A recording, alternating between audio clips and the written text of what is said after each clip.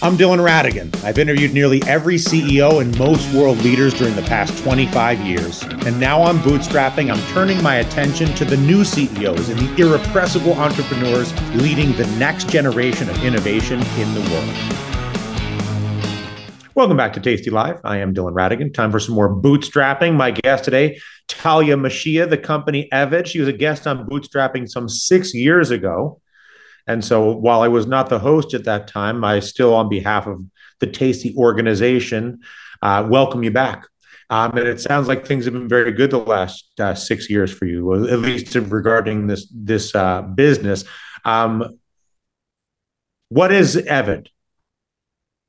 Well, Dylan, thank you so much for having me, and it is nice to be back. And I also haven't done um, any a lot of these uh, appearances in a while. I've been kind of uh, focused on the company for the last couple of years, so it's good to to be out there again. Um, so Eved is a global pay- AP and payments company, and we focus in on live events, uh, media and entertainment, uh, specifically around uh, film and TV production. And we support the business to be able to make payments on a global scale. So, give me an example of, of a use case or, or, or, a scenario where this becomes uh, valuable. So, let's take the fun part of making a movie. So, when a movie needs to be made, they have to go to a, a particular state and sometimes even a small city. You have all different types of small suppliers that need to get paid, whether it's the lighting company, the rental company. Sometimes you need to rent somebody's driveway. You've got hair and makeup people that you need to pay. It could be sometimes thousands of little suppliers that need to be paid for a movie. And these big companies to use one of their big SAP systems to try and onboard all these suppliers, issue them purchase orders, go through weeks of process doesn't work for them. And so they need a payment system that's a lot faster uh, to be able to get the suppliers paid. And so Eved goes in, we onboard all of those suppliers. They only need to be in our system once, like kind of like a LinkedIn or Facebook. Once they have an account, like, and they can do any movie out there that uses Eved just by being invited. And then they can easily be able to pay uh, those suppliers can easily with all the compliance and security that their uh, companies need them to have. So we allow. So, so, uh, so, let's say I'm Disney, for instance, and I'm doing a move, uh, whatever, standing up a production, and and the total cost of the production is a dollar, let's say. So I give Eved the dollar, and then that dollar is going to be a hundred different people are going to get a penny. Correct. Just. And now Eved basically figures out who are those people, what is their tax ID, what is their you know LLC or whatever their whatever their entities are you deal with the, all of the app, the bureaucratic apparatus between the budget for the film and the vendors, and the studio pays you once, and then you do all of the distribution. Is that correct? That is correct. And so, um, if even prior to this, has been a big change in the movie production space where even before COVID, there was, you know, people would come in, they'd get like a paper invoice from someone, put it on someone's desk, and then they they'd cut checks and they'd mail those checks to someone to sign, and then they'd go mail, take that stack of checks and mail them to someone else to sign, and then they'd go send those out to everyone. And uh, and that obviously is a real opportunity to be able to go digital. And so we've really been able to come in and eliminate that need to cut all of those checks and also, you know, there are certain, when it comes to a business, there are compliance requirements, and you need to make sure that you've got the proper tax ID, and you have bank accounts that are you know you don't want someone emailing you their bank account to load that into an ACH you so having a secure portal that those suppliers could go in. And the other piece too is the suppliers that are they're maybe working on you know 200 movies a year. They have to onboard 200 times into each one of those production systems. And with Eved they onboard once into Eved get all that information in they manage it themselves.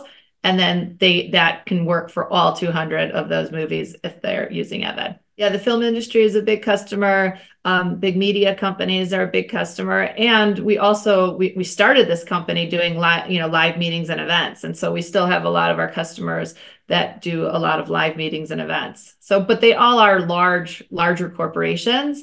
Um, and then on the movie side, there could be large corporations that are doing movies, but um, also could be you know smaller independents that need to do movies as well, or or TV shows, any type of film mm-hmm. production. Mm-hmm. What about the music industry? Yeah, we actually do work in the music industry as well. Um, we have a few clients. They they use our system. They typically you'll um, if you sign an artist, you'll have a budget that you can spend on promoting them.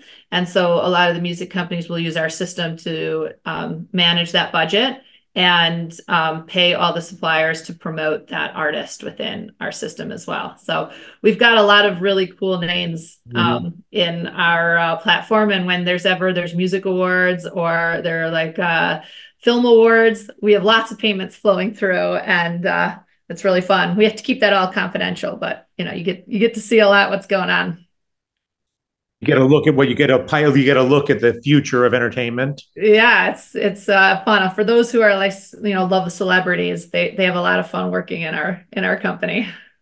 In, in your, and so what's the future of the business? Because it sounds like you've been doing this for a while and it sounds like you've established yourself pretty well at this point. What are you imagining the future to look like uh, so we added and we started in in um, live events and meetings, and we did that for a very long time. Um, we did definitely struggle through through COVID, and I'm happy to share that story because I think that it's always awesome to talk about all the highs that you have as an entrepreneur, but there's also a lot of challenges. So we definitely were challenged significantly when COVID hit, when as in meetings and live meetings and events for large corporations.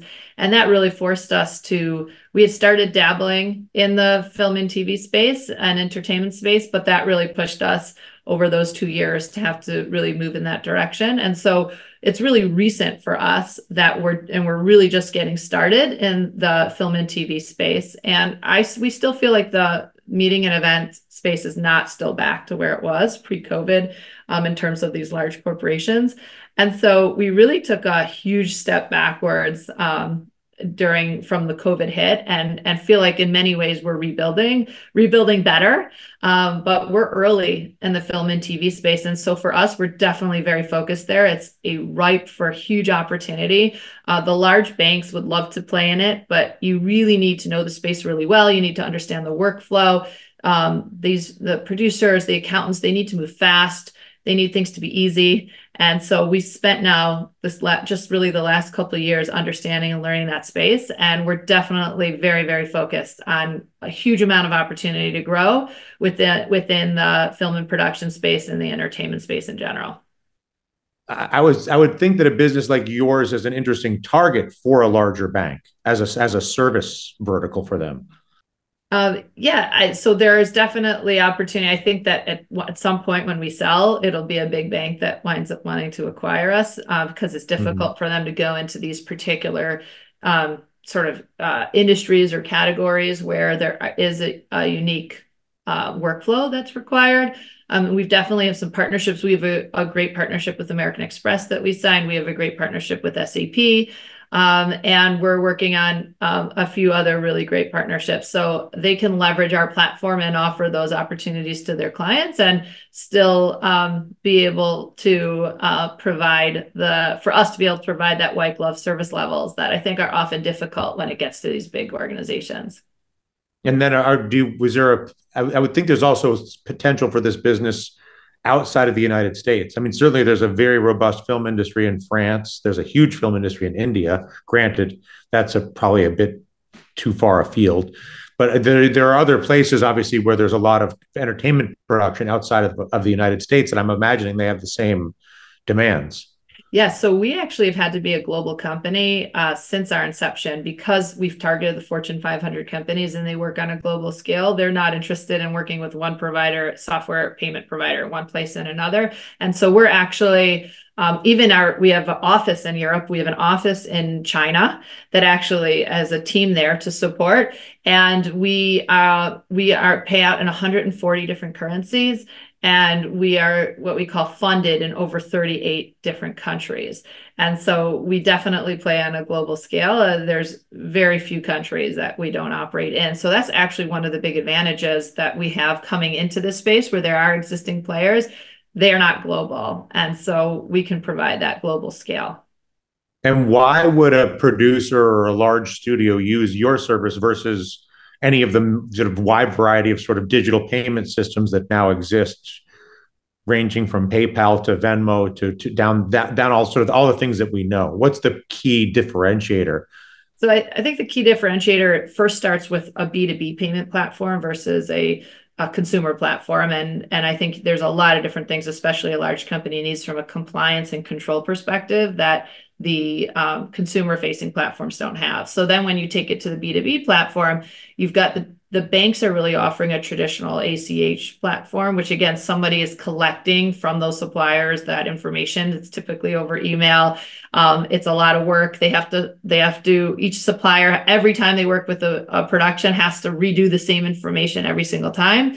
Um, and they just, there's not a necessarily a workflow that meets the needs of a particular industry to make it easier for them. So it's a little bit more difficult to do that with the large banks. Um, there are other um, competitors in our space that are targeting um, the film and TV production space. Um, and I think they're they've they're they're software. They're I would say they're service company that happens to provide software. And Eved is really about a transformational software company that provides an incredible service. And I think when you lead with innovation and you lead with software, you are cons- con- like consistently improving the experience of the client.